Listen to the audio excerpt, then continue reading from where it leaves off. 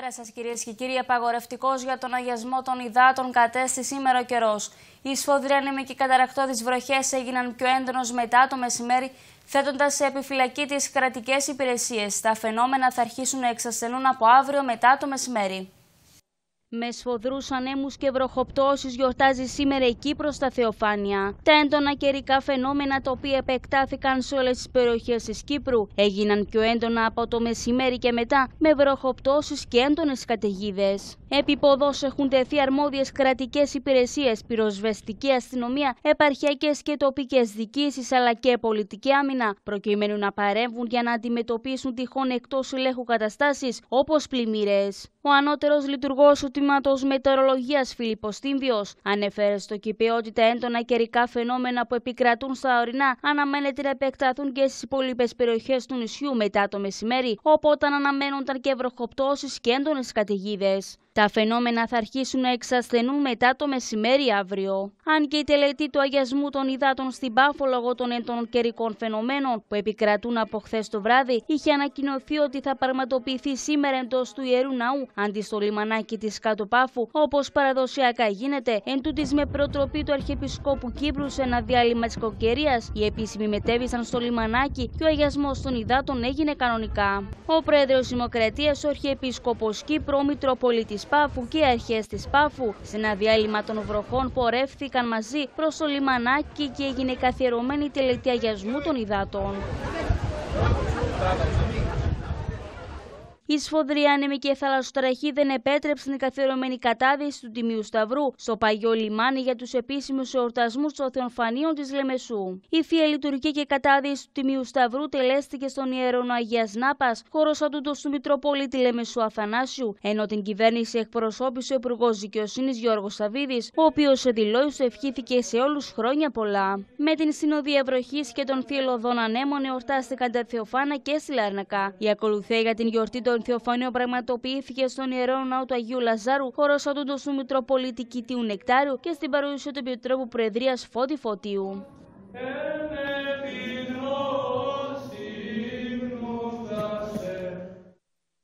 Αδιάκοπο είναι το σφυροκόπημα του ηφαιστείου στην Ελλάδα από τα ξημερώματα, ενώ σε πολλές περιοχές της χώρας τα προβλήματα λόγω της κακοκαιρίας δεν άργησαν να έρθουν με διακοπές ρεύματος και κλείσους δρόμους, ενώ λόγω των ισχυρών ανέμων σε ισχύ βρίσκεται απαγορευτικό απόπλου. Πολλές περιοχές της Ελλάδας πλήττει από τα ξημερώματα των θεοφανίων ή κακοκαιρία ηφαιστείων, με χαρακτηριστικότερα στοιχεία τους θυελώδεις ανέμους, τις ισχυρές βροχοπτώσεις και τις κατά τόπους πυκνές χιονοπτώσεις, κυρίως στα ανατολικά υπηρετικά. Δεν παρατηρούνται προβλήματα στο εθνικό οδικό δίκτυο. Κλειστοί ωστόσο είναι αρκετοί δρόμοι του επαρχιακού ορεινού δικτύου, κυρίως σε Αχαία, Κορινθία, Αρκαδία και Τολακαρνανία, ενώ λόγω του χιονιού και του παγετού απαιτούνται αντιολιστικέ αλυσίδες στις ορεινές περιοχές των γεωγραφικών διαμερισμάτων της στερεάς Ελλάδας, της Πελοποννήσου, της Μακεδονίας και της Θεσσαλίας. Συνεχώς επιχειρούν εκχιονιστικά μηχανήματα ώστε να παραμείνουν ανοιχτοί οι δρόμοι. Τις επόμενες ώρες αναμένεται περιορισμός των χιονοπτώσεων σε Αττική, Βιωτία, Εύβοια και στα ορεινά της Κρήτης, με τα φαινόμενα να διατηρούν τον έντονο χαρακτήρα τους. Ισχυρές βροχές αναμένονται στο Αιγαίο και κυρίως στην Κρήτη. Στα ανατολικά υπηρετικά, την Εύβοια και όλο το Αιγαίο πνέουν βόρειοι άνεμοι με εντάσεις που τοπικά ξεπερνούν και τα 10 μποφόρ. Σε ισχύ υπάρχει απαγορευτικό απόπλο από τα λιμάνια του Πειραιά, της Ραφίνας, του Λαβρίου, αλλά και σε όλα τα νησιά του Αιγαίου και δεν αναμένεται να αρθεί πριν το βράδυ της Τρίτης. Οι επιβάτες που πρόκειται να ταξιδέψουν με πλοία καλούνται να επικοινωνήσουν με τα κατατόπους λιμεναρχεία. Θεοφάνεια με απρόπταση όλη την Ελλάδα. Η κακοκαιρία δυσκόλεψε πιστούς αλλά και ιερείς. Εξαιτίας των ισχυρών ανέμων που σε μερικά νησιά έφτασαν μέχρι και τα 10 μποφόρ, δεν έλειψαν και τα απρόπτα κατά τη διάρκεια της ρήψης του Σταυρού. Με τσουχτερό κρύο, σιόνια και ισχυρούς ανέμους, η Ελλάδα γιόρτασε τα Θεοφάνεια. Σε κάποιες περιοχές, μάλιστα, η καθιερωμένη τελετή του αγιασμού των υδάτων ματαιώθηκε λόγω των δυσμενών καιρικών συνθήκων. Στο παλαιό Φάλτηρο, οι χειμερινοί κολυμβητές αψήφισαν τις χαμηλές θερμοκρασίες και βούτυξαν στα παγωμένα νερά του Σαρονικού για να πιάσουν το Σταυρό όπως κάθε χρόνο. Παρουσία του Προέδρου της Δημοκρατίας τελέστηκε ο αγιασμός των υδάτων στο λιμάνι του Πειραιά. Τη σημασία της υπεράσπισης των αρχών και των αξιών του ανθρωπισμού, της αλληλεγγύης και της δημοκρατίας υπογράμμισε ο Προκόπης Παυλόπουλος στη δήλωσή του. Στοιχείο και τη Σύρο, η τελετή πραγματοποιήθηκε παρά τους θυελώδεις ανέμους εντάσεως 10 μποφόρ. Στην Φλόρινα με θερμοκρασίες υπό το μηδέν αρκετοί ήταν οι τολμηροί που βούτυξαν κατά το Σταυρό, ωστόσο κανείς δεν κατάφερε να τον εντοπίσει. Αλλάζουμε θέμα. Οι πολιτικές που ακολουθεί η Κύπρος δεν επιτρέπουν πράξεις αντιπίνων σε βάρος οποιονδήποτε στην Κύπρο, δήλωσε ο πρόεδρος Αναστασιάδης. Σχολιά εξελίξεις στην Μέση Ανατολή. Αποτελεί γεγονός ότι τι τελευταίες μέρες όλο και αυξάνεται η ένταση, η κίνδυνη για μια σύραξη. Παίρνουμε εμείς από δική μας πλευρά όλα τα μέτρα. Θεωρώ ότι πολιτικές που ακολουθούν δεν επιτρέπουν τις όποιες πράξεις αντιδίνουν της βάρους οποιονδήποτε στην Κύπρο, αλλά εν πάση περιπτώσει για λόγους ε, ασφάλειας, πρόληψης, λαμβάνονται όλα τα αναγκαία μέτρα. Στα μέσα της εβδομάδας αναμένεται η πενταμερή συνάντηση στο Κάιρο σε επίπεδο Υπουργών Εξωτερικών. Τις λεπτομέρειες έχει ο Μάρος Καμεναρίδης. Καλησπέρα, Μάριε. Καλησπέρα, Χριστίνα. Καλησπέρα, κυρίες και κύριοι, και χρόνια πολλά σε όλους. Στο επίκεντρο, Μάριο, αναμένεται να βρεθούν οι εξελίξεις στην Ανατολική Μεσόγειο και την Λιβύη. Έτσι ακριβώς, ε, Χριστίνα, ο Υπουργός Εξωτερικών ε, της Αιγύπτου έχει καλέσει σύσκεψη με τους ε, Υπουργούς Εξωτερικών ε, της Γαλλίας, της Ιταλίας, της Ελλάδας και της ε, Κύπρου και αυτό βεβαίως θα πραγματοποιηθεί στο Κάιρο την Τετάρτη. Ε, ο σκοπός της συγκεκριμένης σύσκεψης, Χριστίνα, κύριε και κύριοι, είναι για τις τελευταίες εξελίξεις γύρω από την Ανατολική Μεσόγειο και ταυτόχρονα εξελίξεις γύρω από τη Λιβύη και την παράνομη συμφωνία μεταξύ της Τουρκίας και της ε, Λιβύης. Βεβαίως εκεί θα έχει ευκαιρία και ο Υπουργός Εξωτερικών της Κυπριακής Δημοκρατίας, ο κ. Χριστοδουλίδης, να ενημερώσει τους ομολογούς του για τις τελευταίες εξελίξεις ε, στο Κυπριακό και για τις συνεχιζόμενες παραβιάσεις από πλευράς της Τουρκίας εντός της αποκλειστικής οικονομικής ζώνης της Κυπριακής Δημοκρατίας από την Τουρκία. Χριστίνα. Μάρε, ευχαριστούμε. Το πακέτο των εθνικών θεμάτων θα βρεθεί στο επίκεντρο των συναντήσεων που θα έχει ο Κυριάκος Μητσοτάκης στις ΗΠΑ. Σκοπός επίσκεψης του Πρωθυπουργού είναι μεταξύ άλλων η ανάδειξη της Ελλάδας ως βασικού παράγοντα σταθερότητας στα Βαλκάνια και την Ανατολική Μεσόγειο σε μια περίοδο κατά την οποία η Τουρκία κλιμακώνει την επιθετική ρητορική της. Το πακέτο των εθνικών θεμάτων θα βρεθεί στο επίκεντρο των συναντήσεων που θα έχει ο Κυριάκος Μητσοτάκης στις Ηνωμένες Πολιτείες. Σκοπός της επίσκεψης του Πρωθυπουργού είναι, μεταξύ άλλων, η ανάδειξη της Ελλάδας ως βασικού παράγοντα σταθερότητας στα Βαλκάνια και την Ανατολική Μεσόγειο, σε μια περίοδο κατά την οποία η Τουρκία κλιμακώνει την επιθετική ρητορική της. Ισχυρό χαρτί στα χέρια του Πρωθυπουργού θεωρείται η τριμερή συμφωνία Ελλάδα-Κύπρου-Ισραήλ για την κατασκευή του αγωγού φυσικού αερίου EastMed. Είναι προφανές ότι οι τουρκικές παραβιάσεις του διεθνούς δικαίου της θάλασσας και η αποσταθεροποίηση που προκαλούν στην Ανατολική Μεσόγειο είναι αντίθετες με ζωτικά συμφέροντα των Ηνωμένων Πολιτειών αλλά και πολλών άλλων στρατηγικών εταίρων της Ουάσιγκτον. Πριν από λίγες μέρες ψηφίστηκε η νομοθεσία του EastMed Act, Εκτιμώ ότι η σημαντικότατη αυτή εξέλιξη αντικατοπτρίζει και την αυξημένη σημασία που αποδίδουν οι Αμερικανοί φίλοι μας στην περιοχή μας. Κρίσιμο σταθμό στο διπλωματικό μαραθώνιο του Πρωθυπουργού είναι το ραντεβού με τον Ντόναλτ Τραμπ στις 7 Ιανουαρίου στο Λευκό Οίκο, όπου αναμένεται να θέσει το ζήτημα της τουρκικής προκλητικότητας. Πριν από την Ουάσιγκτον είχαμε δύο πράγματα σημαντικά. Το ένα ήταν πριν από μερικές μέρες, δεν πήρε πολύ μεγάλη δημοσιότητα, αλλά είναι σημαντικό για αυτούς. Είναι η απόφαση της ΔΕΠΑ για το λεγόμενο FSRU της Αλεξανδρούπολης. Ο Ιστμετ, που είναι ένας ο οποίος συζητεί το χρόνια και τώρα πήρε σάρκα και οστά. Η Τουρκία λοιπόν τι λέει; Εάν ελέγξω τους υδρογονάνθρακες της Μεσογείου, τότε μπορώ να έχω εργαλεία για να ισχυροποιήσω την Τουρκία. Αμέσως μετά την επιστροφή του στην Ελλάδα, ο Κυριάκος Μητσοτάκης προγραμματίζει κύκλο επαφών με τους πολιτικούς αρχηγούς, με κάθε έναν ξεχωριστά, προκειμένου να τους ενημερώσει για τις εξελίξεις. Ο Κυριάκος Μητσοτάκης εν Τρίτη θα έχει επίσης συναντήσεις με το Αμερικάνικο Think Tank Atlantic Council και τη Γενική Διευθύντρια του Διεθνούς Νομισματικού Ταμείου Κρυσταλίνα Γκεοργκίεβα. Το πρόγραμμα περιλαμβάνει για την Τετάρτη επίσκεψη στη Γερουσία των Ηνωμένων Πολιτειών για συναντήσεις με μέλη της Επιτροπής Εξωτερικών και της Βουλής των Αντιπροσώπων και συνάντηση με ομογενειακές οργανώσεις και θα ολοκληρωθεί με δείπνο που παραθέτουν ο Αντιπρόεδρος των Ηνωμένων Πολιτειών Μάικ Πενς και ο Υπουργός Εξωτερικών Μάικ Πομπέο.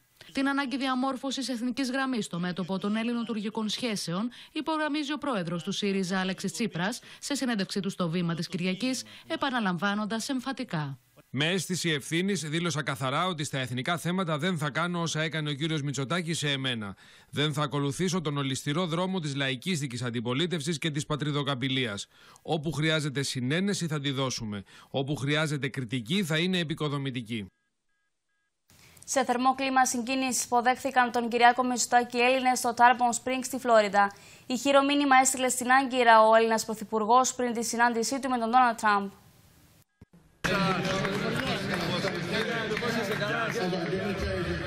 Είναι τόσο μακριά αλλά και τόσο κοντά από τη μητέρα πατρίδα.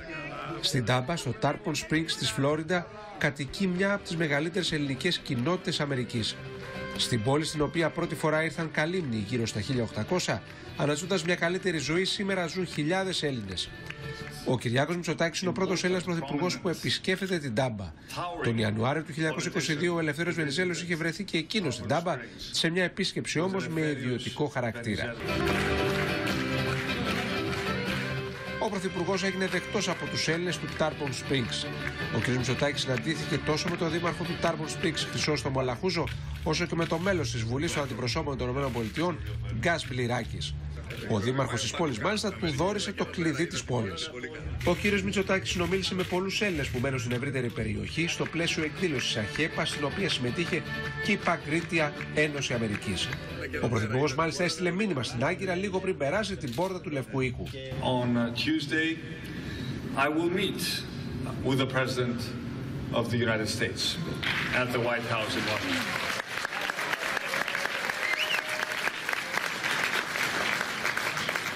I will uh, discuss with him about the grave risks Turkey's aggressive and illegal behavior poses to regional peace and security.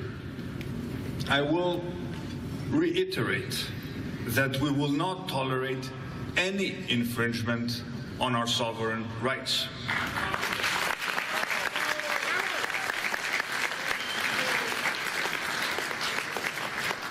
However, we would also discuss ways how to reinforce the strategic relationship between our two countries.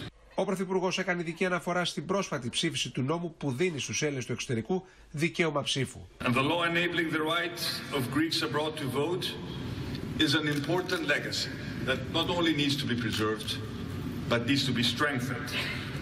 It is a very good basis. It does not preclude further modifications in the future. Ο Πρωθυπουργός και η σύζυγός του, αφού παρακολουθήσουν τη θεία λειτουργία, θα παραστούν στην τελετή κατάδυσης του Τιμίου Σταυρού, την οποία θα τελέσει ο Αρχιεπίσκοπος Αμερικής Επιδοφόρος. Ένας αδυσόπιτος φραστικός πόλεμος έχει ξεσπάσει μεταξύ Ουάσιγκτον και Τεχεράνης μετά την δολοφονία του Ιρανού στρατηγού Χασέμ Σουλεμανί από την Αμερικανική επιδρομή. Ο πρόεδρος των ΗΠΑ, Ντόναλτ Τραμπ, προειδοποίησε μέσω Twitter ότι η Αμερική θα χτυπήσει σε 52 στόχους αν υπάρξουν αντίπεινα του Ιράν και σε απάντηση η κυβέρνηση της Τεχεράνης τον χαρακτήρισε τρομοκράτη με κουστούμι. Στις τελετές μνήμης, η οργή κατά των ΗΠΑ ξεχύλιζε.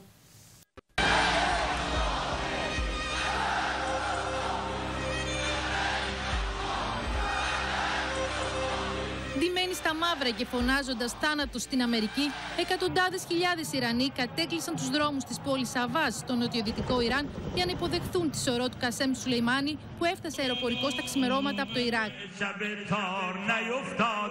Θρυνούν και χτυπούν το στήθος τους.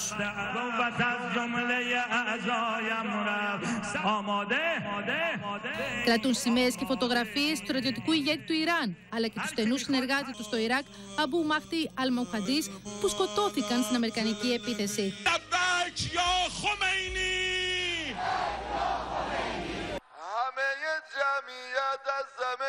Λαοθάλασσα πλημμυρίζει και την πόλη Μασάντ. Να φοβάστε τη σκιά σας φωνάζει το πλήθος απευθυνόμενος στους Αμερικανούς.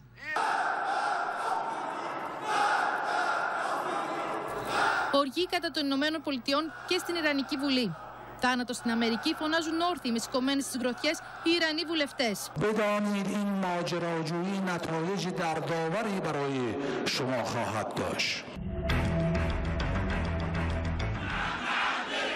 Σε μία από τις πρώτες επιπτώσεις του Αμερικανικού κτυπήματο σε Ιρακινό έδαφος, το Ιρακινό Κοινοβούλιο κάλεσε την κυβέρνηση να διατάξει την αποχώρηση των Αμερικανικών δυνάμεων από το Ιράκ. Παρ' όλα αυτά, οι Ηνωμένες Πολιτείες ενισχύουν τις δυνάμεις τους στη Μέση Ανατολή, στέλνοντας 3.000 άντρε στην περιοχή. Το Ιράν διαμηνύει ότι θα εκδικηθεί το θάνατο ενός από τους πλέον ισχυρούς ανθρώπους της χώρας. Ο Αμερικανός Πρόεδρος απαντά.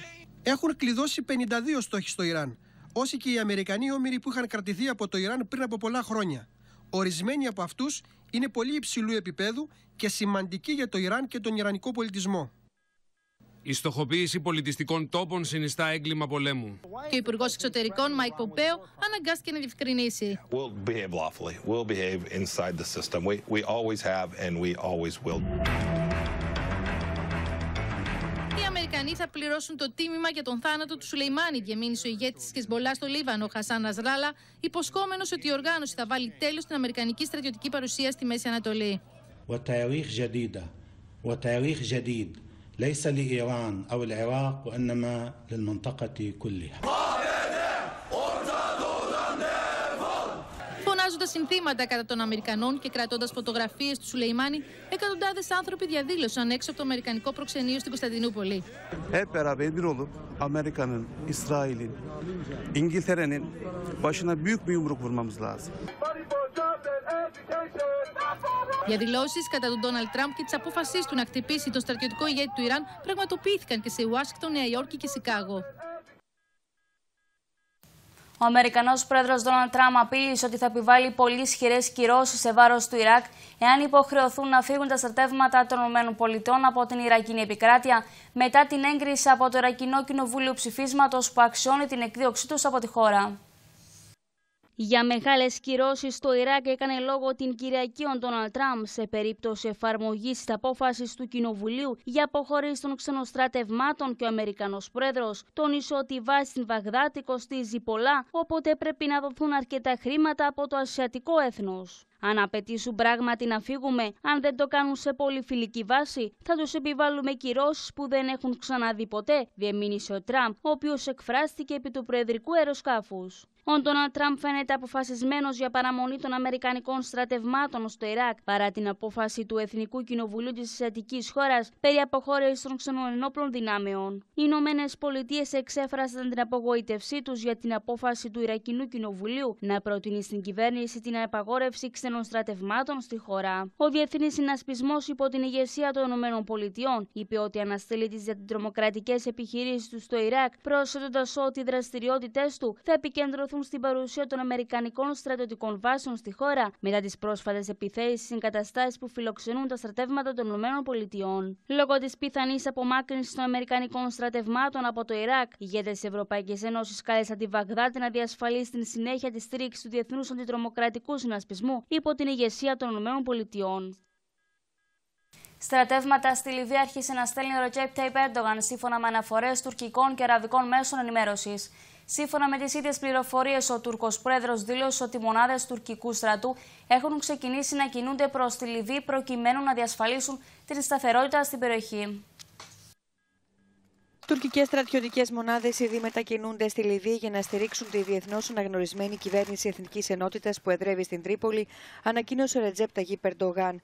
Την περασμένη εβδομάδα, η τουρκική Εθνοσυνέλευση είχε δώσει το πράσινο φως στο νομοσχέδιο που ενέκρινε το αίτημα της λιβική κυβέρνησης για βοήθεια, προκειμένου να αποκρούσει την επίθεση του στρατάρχη Χαλίφα Χαφτάρ, που έχει τη στήριξη της Ρωσίας, της Αιγύπτου, των Ηνωμένων Αραβικών Εμμυράτων και της Ιορδανίας. Τις τελευταίες εβδομάδες, οι δυνάμεις του Χαφτάρ που επιχειρούν για να ανατρέψουν την κυβέρνηση από τον Απρίλιο έχουν σφίξει τον κλειό τους γύρω από την Τρίπολη.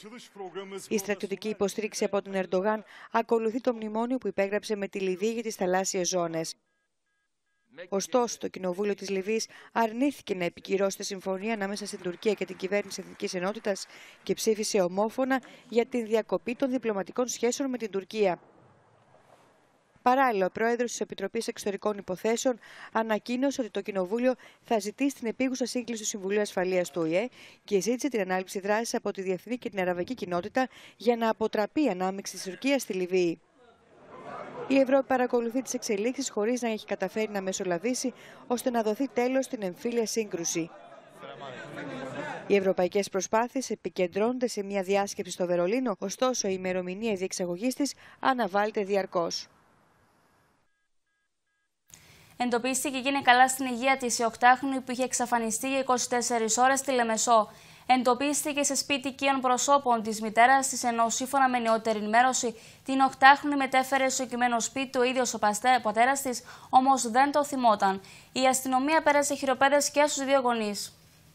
Αισιοτέλο είναι εξαφάνιση 8χρονη στη Λεμεσό. Το κοριτσάκι εντοπίστηκε μετά από μεγάλη κινητοποίηση αστυνομίας εθελοντών και μελών της πολιτικής άμυνας σε σπίτι οικείων προσώπων της μητέρας του στην περιοχή του Λανιτίου Λυκείου στη Λεμεσό. Οι αρχές στη Λεμέσο είχαν τεθεί σε συναγερμό μετά από πληροφορία ότι χάθηκε ένα κοριτσάκι 8 χρονών ονόματι Κριστίν Μπουτζέκ. Το 8χρονο κοριτσάκι είχε μεταφερθεί από την μητέρα του το απόγευμα της Παρασκευής στο σπίτι του πατέρα της τσεχικής καταγωγής, ώστε να μείνει μαζί του. Στην συνέχεια, το κοριτσάκι φέρεται να μεταφέρθηκε σε γειτονικό σπίτι οικείων προσώπων για διανυκτέρευση. Εν τούτης, το κοριτσάκι γύρω στις 4 το απόγευμα της Κυριακής ανέφερε στα οικεία του πρόσωπο ότι θα μεταβεί στο σπίτι της στην περιοχή του Αγίου Άννη για να βρει τον πατέρα της και έκτοτε χάθηκαν τα ίχνη της. Αφού ο πατέρας αντιλήφθηκε την εξαφάνισή της και δεν κατέστη δυνατό να την εντοπίσει, σήμερα λίγο πριν από το μεσημέρι μετέβη στα γραφεία του τα Ελεμεσού για να αναφέρει την εξαφάνισή της. Στο μικροσκόπιο του τα Ελεμεσού τίθενται οι συνθήκες κάτω από τις οποίες το κοριτσάκι μετέβη στην περιοχή του Λανιτίου από την περιοχή του Αγίου Άννιου που βρισκόταν, ενώ ενήμερο για την υπόθεση είχε καταστεί και το γραφείο ευημερίας. Τόσο ο πατέρας 8χρονο όσο και η μητέρα ανακρίνονται από τα μέλη του τα Ελεμεσού. Εφιαλτική παραμένει η κατάσταση στην Αυστραλία με τις φωτιές να εξακολουθούν να μένονται, ενώ οι επιστήμονες εκτιμούν πως μισό δισεκατομμύριο ζωέ έχουν αφανιστεί. Οι πυρκαγιές στην Αυστραλία αποτυπώνονται και στον ουρανό της γειτονικής Νέας Ζηλανδίας παρά την απόσταση χιλιάδων χιλιόμετρων και η εικόνα παραπέμπει σε ταινία επιστημονικής φαντασίας.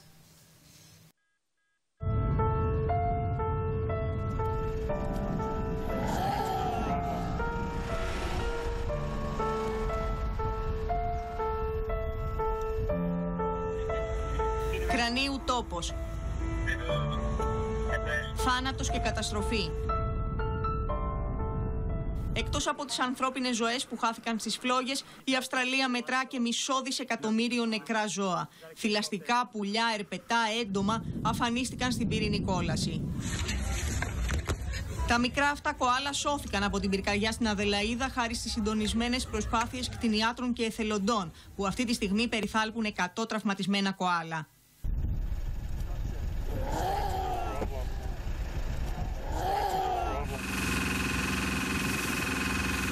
Οι εκτιμήσεις όμως είναι αποκαρδιωτικές, καθώς σύμφωνα με επιστήμονες, τα νεκρά ζώα θα φτάσουν συνολικά το 1 δισεκατομμύριο τις επόμενες εβδομάδες. Όσα δεν κάηκαν είναι αδύνατο να επιβιώσουν τραυματισμένα χωρίς νερό και τροφή. Σχεδόν 200 πυρκαγιές εξακολουθούν να μένονται, ενώ 65 μέτωπα είναι εκτός ελέγχου. Κάτι και εγκαταλείπουν τα σπίτια τους για να σωθούν. My neighbor stayed to defend his property, and uh, I didn't stay there. I evacuated. And he uh, contacted me this morning to say, sorry, but my house is gone. It's pretty scary. It's like something out of a horror movie. I've never seen anything like it, neither of mom and dad. Ο ουρανό βάφτηκε κόκκινο ακόμη και 2.000 χιλιόμετρα μακριά, στο Όκλαντ τη Νέα Ζηλανδία, από τον καπνό που φτάνει από την Αυστραλία. Παρά τη μικρή πτώση της θερμοκρασίας, ο Αυστραλός Πρωθυπουργός προειδοποίησε πως οι πυρκαγιές μπορεί να μένονται για μήνες. Εφιαλτικές είναι λοιπόν οι εκτιμήσεις για τον αριθμό των ζώων που έχουν χάσει τη ζωή τους στι φωνικές πυρκαγιές Αυστραλίας από την έναρξή τους τον Σεπτέμβριο, καθώς υπολογίζεται ότι φτάνει το μισό δισεκατομμύριο. Στην ίσο Καγκουρό, το τρίτο μεγαλύτερο νησί της Αυστραλίας, οι πυρκαγιές απειλούν με αφανισμό τη μοναδική πανίδα της. Οι ειδικοί αγωνιούν για την τύχη σπάνιων ενδυμικών ειδών όπως ο μαρσιποφόρος ποντικός και ο μαύρος παπαγάλος. Στο καταφύγιο άγρια ζωής, οι κάτοικοι του νησιού φέρνουν καθημερινά τραυματισμένα κοάλα και καγκουρό. Κάθε μέρα τους δίνουμε αναλγητικά, όλοι τα χρειάζονται. Θεραπεύουμε επίσης τα εγκάβματα. Κάποια έχουν πολύ σοβαρά, άλλα έχουν μικρότερα. Σύμφωνα με τους αρμόδιους, χιλιάδες κοάλα και καγκουρό συγκαταλέγονται στα θύματα της φωτιάς. Η κυβέρνηση της Αυστραλίας ανακοίνωσε πως θα δαπανίσει όσα χρήματα χρειάζονται για να βοηθήσει τις κοινότητες να ανακάμψουν από τις φωνικές πυρκαγιές. Η δέσμευση των 2 δισεκατομμυρίων δολαρίων είναι επιπρόσθετη. Είναι επιπλέον κόστος. Είναι μια αρχική δέσμευση και αν χρειαστούν περισσότερα χρήματα θα διατεθούν περισσότερα χρήματα. Επικεντρωνόμαστε στο ανθρώπινο κόστος και στο κόστος αποκατάστασης για την καθημερινότητα των ανθρώπων. Δεν επικεντρωνόμαστε στο χρηματικό κόστος, αλλά στο ανθρώπινο κόστος και διασφαλίζουμε ότι θα κάνουμε τα πάντα το ταχύτερο δυνατό. Περίπου 135 πυρκαγιές συνεχίζουν να κατακαίνε την Αυστραλία. Οι νεκροί είναι τουλάχιστον 24 και οι άστεγοι χιλιάδες. Οι μετεωρολόγοι προειδοποιούν πως τις επόμενες μέρες η θερμοκρασία θα ανέβει και πάλι, δυσχεραίνοντας το έργο της κατάσβεσης. Για άλλες 8 ημέρες ανανεώθηκε σήμερα το διάταγμα πρόσωπο κράτηση του 90χρονου που συνελήφθη για την υπόθεση 645 κιλών ναρκωτικών σε φουκούδες. Ο ύποπτος φέρεται να μην έφερε ένσταση κατά την σημερινή ακροαματική διαδικασία. Στο μεταξύ, με εντατικούς ρυθμούς συνεχείς έρευνες η ΚΑΝ, ενώ σύμφωνα πληροφορίες, σήμερα ένα χωρί κλιμάκιων ακριτών για την Αυστραλία για συντονισμό των ερευνών.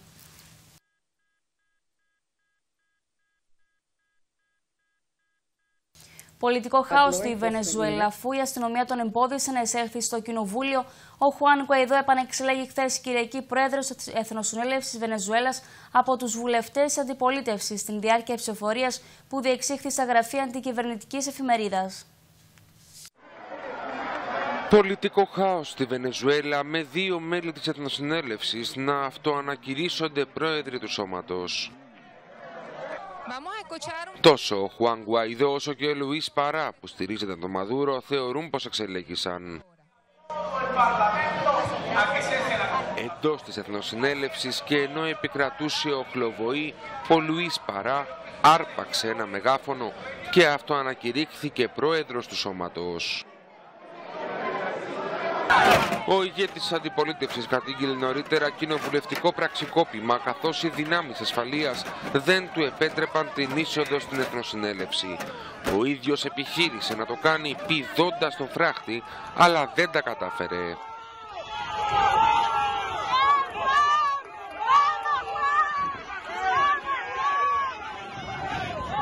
Τελικά οι βουλευτές συγκεντρώθηκαν στα γραφεία της εφημερίδας El Nacional που στηρίζει την αντιπολίτευση.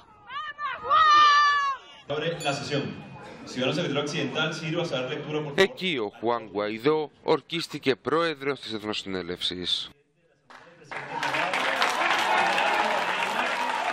Σήμερα κερδίσαμε ξανά τη δικτατορία. Πετύχαμε μια αποφασιστική νίκη ενάντια στους ισχυρισμούς της.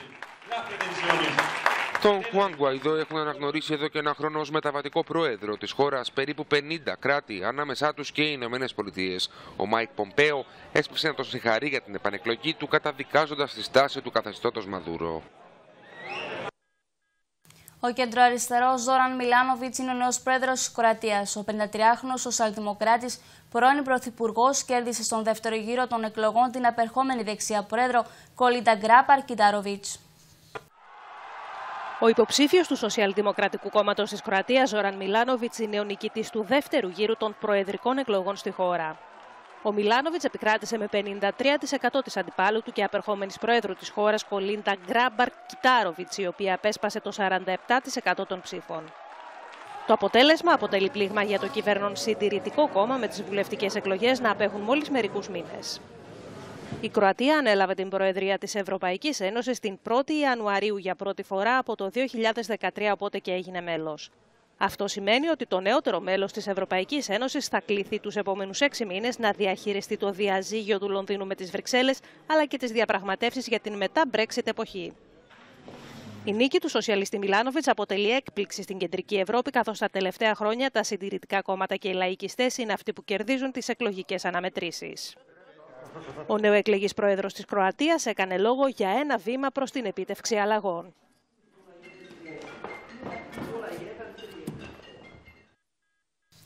Η ταινία κάποτε στο Hollywood του Quentin Tarantino και το 1917 το ιστορικό δράμα του Σάι Μέντες είναι οι μεγάλοι νικητές 77η τελετής των Χρυσών Σφαιρών, οι οποίες ανοίγουν παραδοσιακά την κούρσα για τα κινηματογραφικά βραβεία στις ΗΠΑ.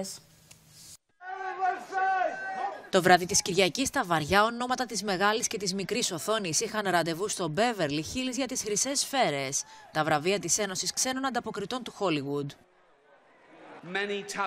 Για άλλη μια φορά, ο Βρετανός κομικός Ρίκι Τζερβέη σχολίασε τα τεκτενόμενα στη showbiz με ιδιαίτερη καυστικότητα και χαρακτηριστική έλλειψη πολιτικής ορθότητας. Το κάποτε στο Hollywood του Quentin Tarantino ήταν ένας από τους μεγάλους νικητές. Απέσπασε χρυσές σφαίρες για καλύτερο σενάριο, καλύτερη ταινία στην κατηγορία κομμωδία ή musical και δεύτερο ανδρικό ρόλο για την ερμηνεία του Brad Pitt. Ο Σαμ Μέντε πήρε τη χρυσή σφαίρα καλύτερης σκηνοθεσίας για το 1917, μια ματιά στην κόλαση των χαρακομμάτων του Πρώτου Παγκοσμίου Πολέμου. Η ταινία πήρε και τη χρυσή σφαίρα καλύτερης ταινίας στην κατηγορία δράμα.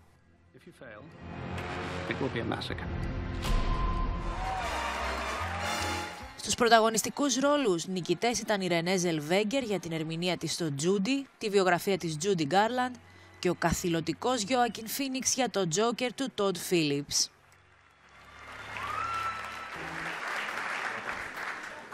Η χρυσή σφαίρα καλύτερης ξενόγλωση ταινίας πήγε στα παράσιτα του Κορεάτη Bong Joon-ho, που είχε ήδη αποσπάσει το χρυσό φίνικα του Φεστιβάλ των Κανών.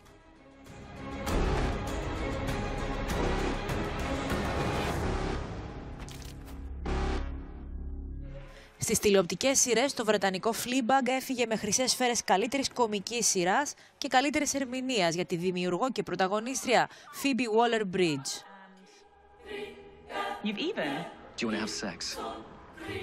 Το Netflix ήταν ίσως ο μεγάλος χαμένος της βραδιάς, η οποία ξεκίνησε με δεκάδες υποψηφιότητες, αλλά έκλεισε με μόλις δύο βραβεία για τη διαδικτυακή πλατφόρμα.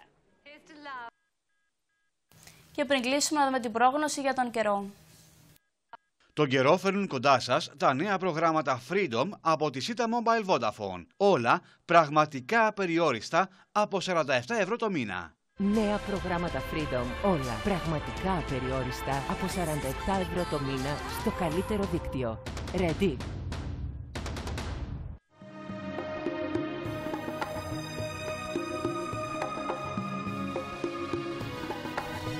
Απόψε ο καιρός θα είναι κυρίως συνεφιασμένος με βροχές και τοπικές καταιγίδες, ενώ στο ψηλότερο ειρηνά κατά διαστήματα θα χιονίζει. Τοπικά τα φαινόμενα θα είναι έντονα και παρατεταμένα. Η θερμοκρασία θα πέσει γύρω στους 10 βαθμούς στο εσωτερικό και τα βόρεια παράλια, γύρω στους 15 στα υπόλοιπα παράλια και στους 2 βαθμούς στο ψηλότερο ειρηνά, όπου τοπικά θα υπάρχει παγετός. Αύριο καιρός θα παραμείνει κυρίως συνεφιασμένος με βροχές και τοπικές καταιγίδες, ενώ στο ψηλότερο ειρηνά κατά διαστήματα θα χιονίζει. Τοπικά τα φαινόμενα θα είναι έντονα και παρατεταμένα. Η θερμοκρασία θα έλθει γύρω στους 14 βαθμούς στο εσωτερικό και τα παράλια και στους 3 βαθμούς στο ψηλότερο ρινό που τοπικά θα επικρατεί βαγετός.